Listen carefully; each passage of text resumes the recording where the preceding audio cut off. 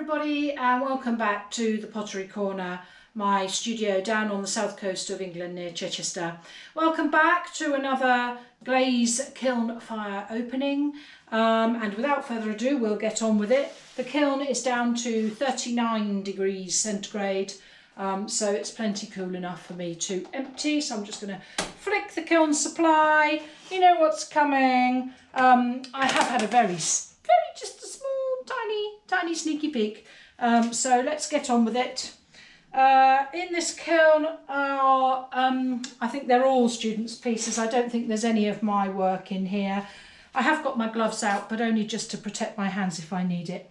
So, first thing out of this kiln, Leslie is the smaller of your um, cornucopia platters. So Leslie has modelled some uh, fruit and vegetables, pumpkin and carrots and butternut squash um, in a cornucopia which she um, made a sprig mould for. And in the cornucopia we used manganese oxide, or no, actually it wasn't, it was red iron oxide. And then this over the top, the background glaze, is iron luster, no, yellow, iron yellow, get it right, Sarah, iron yellow over the top, which is kind of sort of like almost the same as oatmeal, but not quite so vanilla um, so that's a nice piece. The colours, the underglaze colours, Leslie, are very good. I hope you can see that close up. So that's a goodie. The larger of the two, um, I think is still waiting to be done. It's still on the shelf. As you can see, as usual, there's quite a shelf load of stuff to do. We are today, day seven of the uh, second uh, UK, um, not UK, England lockdown. Um, so we're still battling through our rather large pile of glazing. Right, okay, next out is this, which is Diane's. So this has been made using a former for the shape. And then she's used my um, textured sprigs that I make um, and textured a slab using the sprigs and that is glazed in Amaco Deep Sea. So that's really very nice. Nice blue, like a mid blue. Um, and obviously where the glaze holds in the texture, you get this nice, you can actually see each individual um, shape, which is really lovely. So that's a very useful bowl. Very nice, Diane. Jess, this is one of your platters. So Jess is one of the 30th birthday girls. This one is beautiful. I really like this one.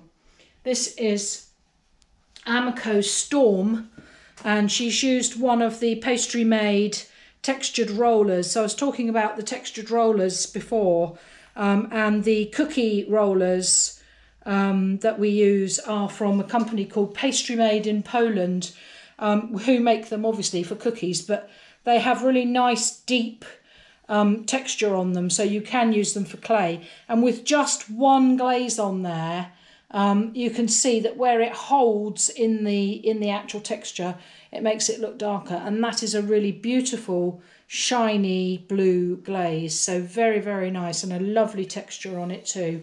So that one's a goodie Jess. Right let's lift out the shelf. See how warm that is. No it's not very warm. We can do that with our hands Right, what's next? Okay. Uh, and again, this is three of the uh, the um, 30th birthday platters ladies. So this this is a Huntley and Noble heart-shaped form, um, which has been glazed again in the same glaze actually, Amaco Deep Sea. This one has just got uh, icicle stamps on it, so that's very nice. Nice heart-shaped plate. And uh, the girls came uh, to do a Christmas platters course, um, ostensibly, presumably, to make some Christmas presents. So, I mean, that would make a lovely present. Um, Becca, this is yours. Um, it has a cookie on the bottom, as you can see, which will, oh, it's come off. Um, as I say, which will need a tap, but I use them so that uh, I don't have to worry about things like this going on. So I just need to clean up the base of that. I hope you can see that there's a shard from the cookie stuck on the bottom, which would obviously have been stuck on my kiln shelf. Okay, so this is, again, it's a moulded, um, she's moulded this actually on one of my bisque fired um, proformers that, that we use in the studio. And this is Amaco Deep Firebrick. Um, and she's done a lovely job of texturizing this. This sort of basket weave uh, texture is a roller that I managed to pick up on eBay um, and it's French um, and obviously for pastry. So um, it's amazing sometimes where you find your texture. And then she's used some of my um, handmade uh, texture and a little fish motif. And I love the way that she has, she listened when I said to her that actually don't worry about there being blank spaces because sometimes the blank spaces speak louder than if that texture was all over. So I think that's a really lovely dish. So well done, Becca, that's a goodie. This one is in our favourite studio glaze, which is fog. And as usual, I've taken this off of a, a prop and you can see how sharp those shards are on there.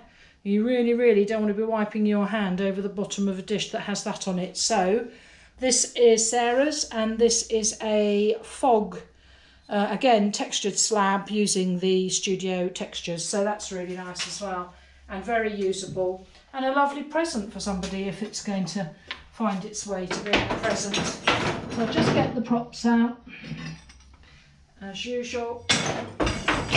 I'm just going to use my gloves just to lift this final shelf out just in case. I don't think it's very warm but I'd rather be safe than sorry, as they say. Right, let's pick that one out. Right, in here, on the bottom layer. Oh, quite nice actually. Right, let's have a look at these. Take the props out. Necessary evil, as we know. Right, Sarah, this is, oh, that's lovely. Look at that. Really nice. So this is, again, it's another pastry made um, roller. This is a wonky pot. Sarah's made a wonky pot using the uh, wonky pot wonky pot template from uh, upstairs in the studio. So this is uh, Amaco um, marigold on the bottom and on the legs and on the inside, which is this lovely yellow um, colour. And then on the textured slab, which is um, honeycomb and bumblebee, she's put some ironstone just to make the texture stand out a little bit, which works very well. You can see the texture. And then she's used um, underglazes and fog on the wings of the bees. And on the join of the slab, to make a feature of it, she's used the um, bumblebee mould that we have upstairs. And those bumblebees, they're so real. They look so real, really, really pretty. So that's lovely. And again, what a lovely present to give somebody with a succulent in. So that's really nice. Well done, Sarah. Uh, Keely, uh, this one is yours. So Keely came, she did the introduction to hand building course. Um, and in her coiling class, she made this coil pot. Um, and then when she came to glaze it, she used some masking tape to mask off this pattern. So the pattern where it's not, um, where it's white is the clay body colour, so there's no glaze on there. And then this glaze is studio favourite, Amaco Fog. I get through pints and pints and pints of it. And Keely's going to make a um, macrame rope to hang this to put a plant in. So that's a good idea, and it's a it's a good size bowl for a decent plant. Um, so when she's finished it, I'll ask her to uh, to send us a photo of it with its macrame. But that's what the holes are for. So yeah, very successful.